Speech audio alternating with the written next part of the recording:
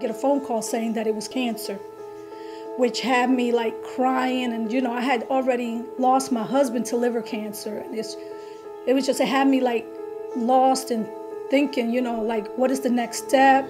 What do I do? Because I was just in shock. So I meet with uh, cancer patients in different parts of their cancer journeys. I work in a hospital system that has a lot of health disparities.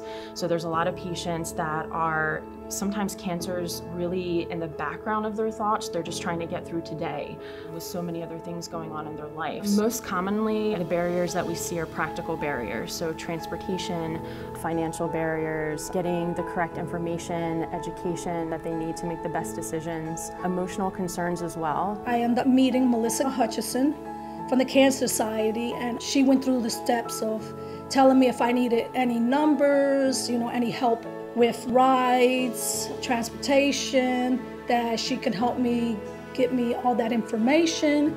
She said that why I focus on getting better for me to, to, to don't worry about the other stuff. The rides were great. There are so many people in our community that need our help. The American Cancer Society is committed to our patient population and providing access to care, getting patients to treatment when they need it. Last year we started a program, a paid transportation program, where if we didn't have a volunteer available and a patient needed to get to treatment, we could access a paid transportation vendor. And this was allowing us to continue the continuum of care for our patients being able to get them to treatment is the most important part of providing them with the best outcome for their future.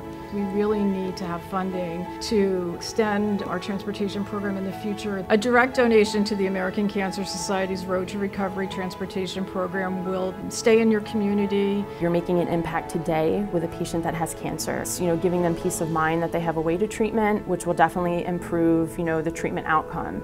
Giving me the ability to have something to help me get, get to A and B and not pay for it is a blessing.